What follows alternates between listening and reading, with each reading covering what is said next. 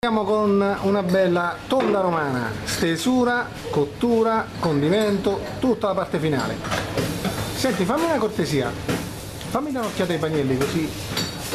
Eh, sì, questo.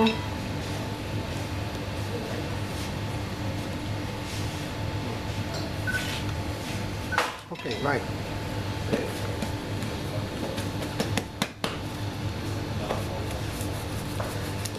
Fai di mattarello. Sì. Questa è la pizza romana. Comunque è faticoso il lavoro di mattarello, eh? Sì, io prima l'ho lavorato 5 anni con il mattarello. Ah, a mano si sbriga molto prima, lo fai con lo slap Sì. in tre secondi perché la chiama Beh, sicuramente la tocchi di meno ed è meno faticoso, a fine serata con questo lavoretto qua stai bello spiazzato, eh?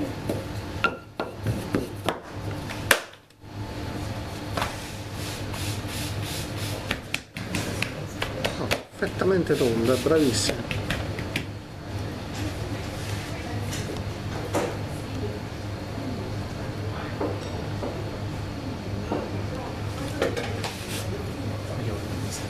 Ah,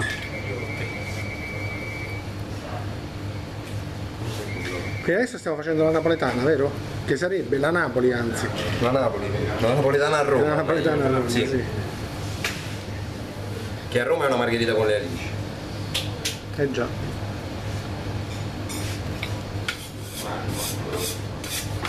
Ma si mette anche l'origano? Non mi ricordo. no, Dipende, dipende dai punti di vista, c'è chi lo mette e chi non lo mette.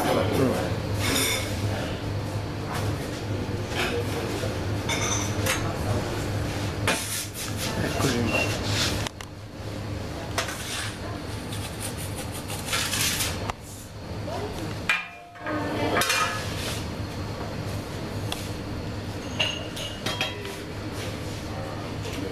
No?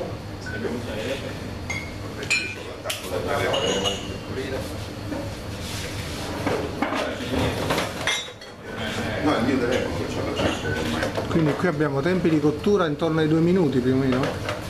Cerchiamo di cuocerla pure di più. Ah, Alziamo la temperatura.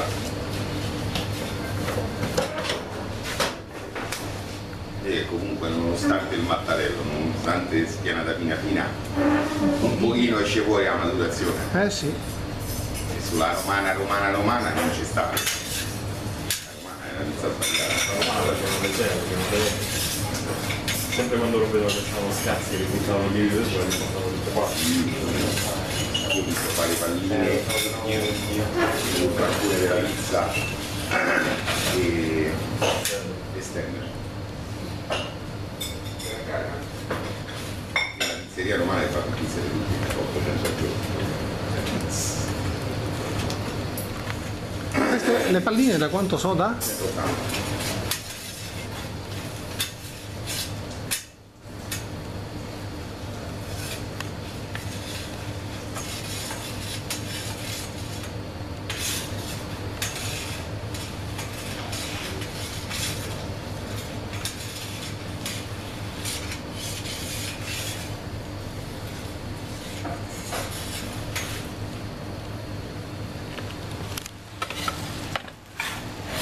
Eccola. Venuta più biscottata?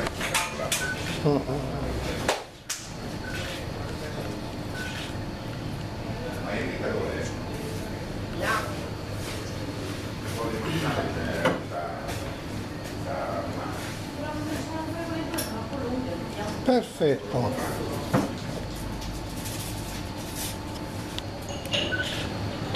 E ora diamo un'occhiata alla cassetta dei panielli, ricordiamo sono da 180 grammi. Perfetto. Che sarebbero, questi sono quelli che hai pi- pia- piazzato 5, 5 e 4 quella centrale, giusto? Che poi l'hai sistemata, vabbè.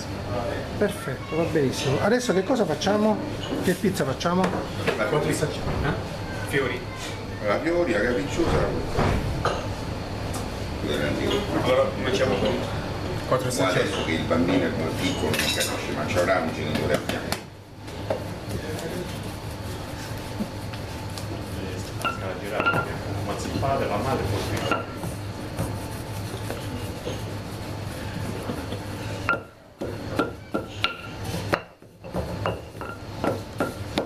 veramente parecchio più faticoso sto, sta stesura rispetto alla napoletana. Molto più faticoso stare a mattarello che a mano. Eh. Se c'hai, la- la- la- la- l'impasto maturato giusto, con gli occhi la spiana.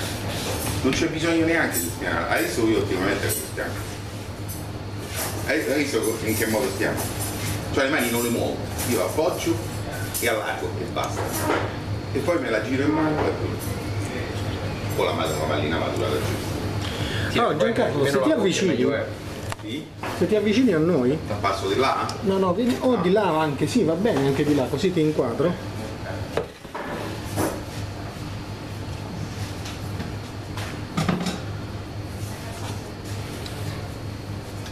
Intanto che viene preparata la pizza, tu con questa qua è la capricciosa, no? No, quattro Quindi- stagioni. Ah, la quattro facendo la stagioni. quattro stagioni. Ok.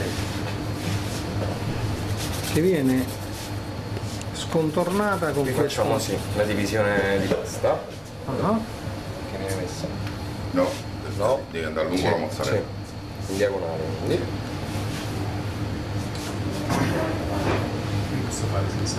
No, vabbè, no, però meglio perché per, per il pomodoro che dopo non si mischia, capito? Aspetta che proprio no. E poi è la, molte pizzerie romane la facevano così, proprio col divisorio.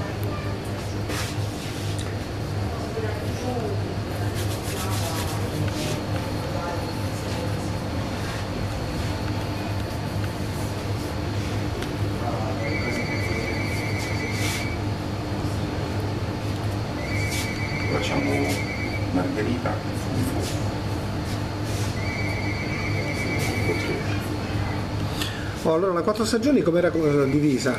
In quattro settori, che ci si metteva?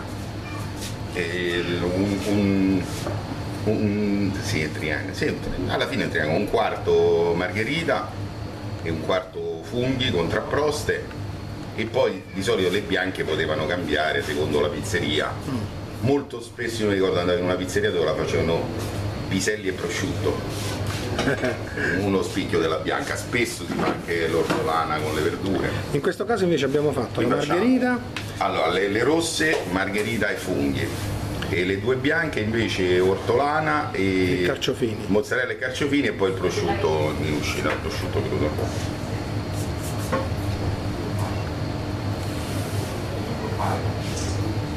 bella l'ortolana, pure bella, eh? Facciamo un po' di dettaglio sull'ortolana, sui funghi, questo è carciofini e questa è la margherita. Oh, questa viene rigorosamente impalata in questo modo, mentre la napoletana in genere si tira sulla, Sì, sulla pala, in questo si caso. tira, poi dipende dalla metodologia di lavoro. Eh, certo. Si, di solito si tira sulla pala di legno, no. Veramente un pochino, un pochino più abbrattiva rispetto all'acciaio, quindi si tira a mano anche perché in effetti Beh, per non eh, muovere troppo il cornicione, perché Eh, esatto. di crescere nel forno in cottura, quindi con la mano tu la pizza la tocchi solo dal, dal basso verso anzi, che poi è un movimento anche leggermente Rotatorio, rotatorio. bravissimo. Eh, sì. Serve per sganciarla, per non farla attaccare, per farla muovere meglio, bravo. Cioè io sto svenendo perché intanto che sto facendo questa ripresa voglio far vedere anche tutti gli amici del forum che caspita c'ho qua sotto perché voi potete capire che, che- profumo arriva. È una cosa proprio un supplizio. A proposito di supplizio, i supplì. Vogliamo dire due parole? È una grande e bella storia quella del supplì. E dilla dai. Eh, Il supplì è uno dei vizi dei romani, È vero.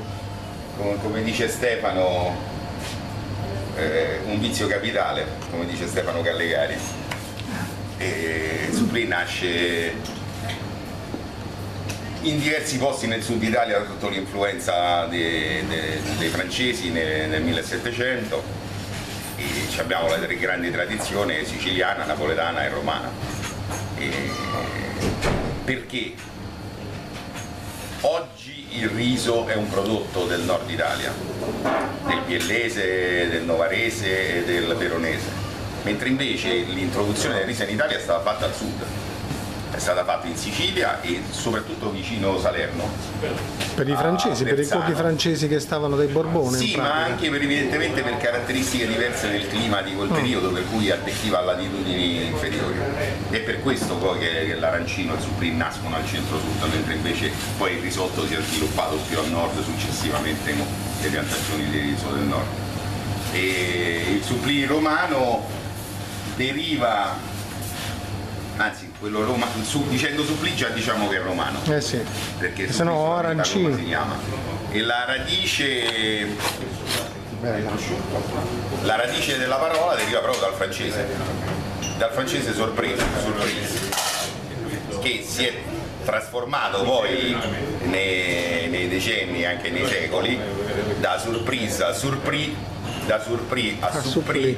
e poi nel dopoguerra per fare perché dato che l'R romano sembrava come ER è stato trasformato in più gentile però se uno fino a qualche anno fa sentendo eh, vecchi romani che oggi ci dovrebbero avere 100 anni però io quando ero più giovane me lo ricordo che lo sentivo spesso chiamare con Ah, la. Supri. E anche la supplì Quindi proprio francese, poi molto più vicino la al francese. derivazione del, del- del nome del supplì è proprio questo Come Poi Sartuda, a. Roma c'era il supplì tradizionale, veramente quello antico tradizionale che era in bianco e c'erano anche il burro, i funghi e il prosciutto ne- nel, soffritto e poi veniva messo il sugo di rigaglie di pollo all'interno, proprio come sorpresa. Mentre invece poi ne- nel secondo dopoguerra si è sviluppato il supplì moderno che può essere fatto con il sugo e può essere, può essere fatto con il sugo semplice anche senza carne, col sugo finto, oppure con eh, un leggero ragù di manzo o di, appunto di, di rigaglie di pollo. Però si tende, le rigaglie di pollo sono rivalutate un po' negli ultimi anni che c'è stato un ritorno della cucina romana tradizionale, ma eh, bandite per 30-40 anni. però.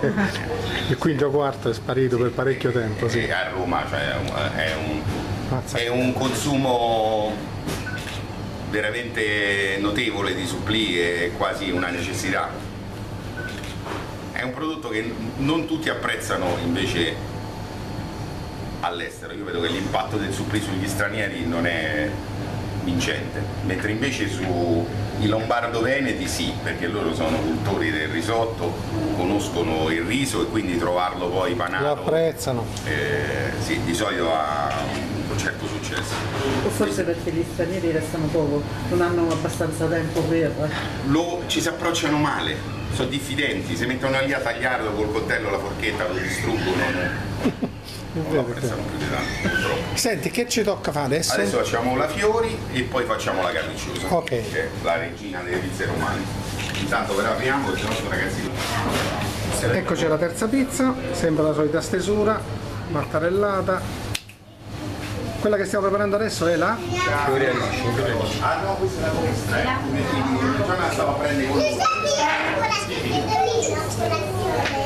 Un altro grandissimo classico della cucina romana. No? Il fiore con l'acciuga proprio. Il fiore messo a crudo sulla pizza.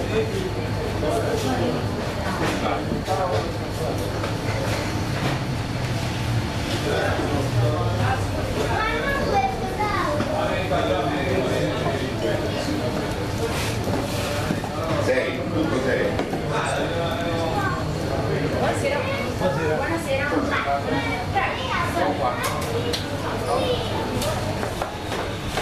Mozzarella fiori alice.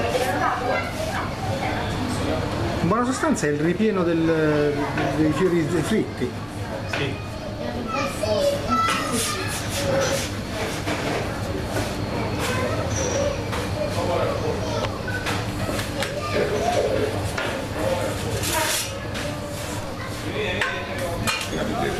Guardate qua, che popò di Non meraviglia. mi era venuto in mente. Quindi in quel caso vai su una 240, 250. Io lo faccio a 24 ore. Però posso frigo. Gianca, se passi di là, adesso facciamo quest'ultima chiacchiera che spettacolo questa oh. Bella bella. Facciamo una piccola carrellata volante. Adesso prepareremo, queste sono le tre pizze fatte fino adesso una dopo l'altra e adesso prepareremo l'ultima, quella un po' più particolare forse delle pizze classiche romane, che si chiama pizza eh, capricciosa.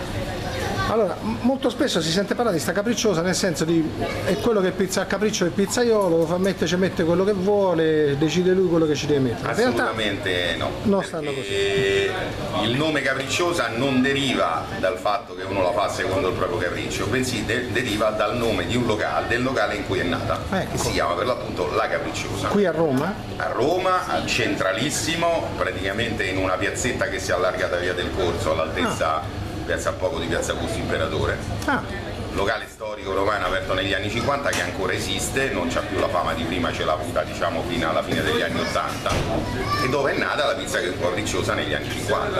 Quindi è una ricetta loro ben precisa e il condimento della capricciosa è eh, pomodoro e mozzarella su, tut- su tutta quanta la base. Dopodiché su metà e su poco meno di metà si mettono i funghi e poi si, si mettono in cottura eh, un carciofino spaccato, un uovo sodo spaccato e quattro olive nere nella maniera più assoluta denocciolate perché Ah, certo. l'oliva denocciolata è una iattura e spesso abbiamo anche clienti che ci dicono ah, ma come le olive non sono denocciolate? Denocciolarle una a una sarebbe una follia e mettere quelle da denocciolate. denocciolate è un'eresia gastronomica Certo, perché certo. all'interno del- dell'oliva denacciolata va a finire tutta la salamoia e hai voglia a sciacquare il sapore di salamoia non lo perderà mai e il sapore del- dell'oliva buono non ce l'avrà è mai. vero, è E poi in uscita alla fine si mette una bella fetta di prosciutto crudo buono. E quindi non è assolutamente una pizza a capriccio, ma è una pizza codificata in maniera molto precisa. Ecco, questa è una cosa che assolutamente non sapevamo e abbiamo imparato stasera. Adesso la vedremo fare dai nostri amici pizzaioli che ce la Li prepareranno. presentiamo? Sì, volentierissimo, volentierissimo. Allora, ci abbiamo Mahmood, Ciao, Mahmood. ormai da 6-7 anni alla gatta mangiona, 8, o quasi, ormai quasi 8 anni alla gatta mangiona, e Elio che collabora Elio. con noi in altri locali per gli eventi e in alcuni periodi anche qui. ehm, da tre- circa tre anni, pur essendo giovanissimo, era proprio un bambino quando ha iniziato con noi in un altro locale e dal primo novembre pizzaiolo ormai definitivo della gatta mangiona. Benone, il Gran Tristassi. Non solo, lo vogliamo dire, anche vincitore del premio Pizzaiolo Emergenti L'ho visto. Oh là là, 2015 auguri. a, a- a manifestazione Cooking for Art di Luigi Cremona, Ah, bravo, bravissimo. vincitore in finale con una giuria di 32 giudici, Eh, mamma mia. venendo da- venen- che provenivano da tutta Italia, ma almeno una decina napoletani. Grande onore. Grande, bravo, bravo. Sostenuto per E sostenuto ovviamente dall'esperienza di Mahmoud, ma Assolutamente sì. comunque talento grandissimo. Grazie. Bene, allora vediamoli all'opera. Mahmood, L'altro se ci riusciamo a organizzare con le sostituzioni, vengono tutti e due a, eh, alla Igea, convention. volentieri.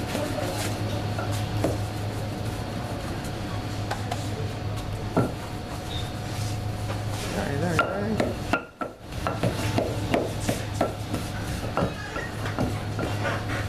Io non lo farei proprio mai poi mai un lavoro così, ma manco morto. Mi spezzerei le reni dopo tre minuti. Capricciosa. Ok, capricciosa. Si comincia base Ah, sono mozzarella pomodoro. riuscito a registrare Margherita e le sue sorelle in Gambero Rosso la puntata della nostra. La Cecilia gliel'ha registrata.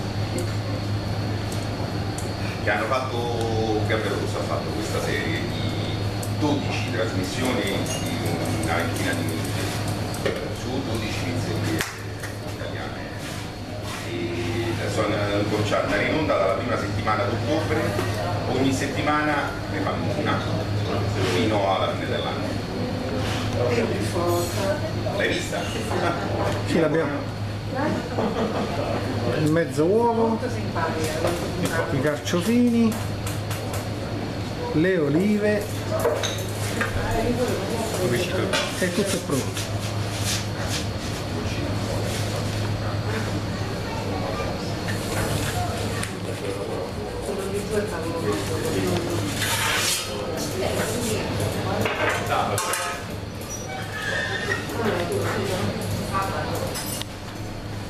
Eccola che arriva, guarda spettacolo!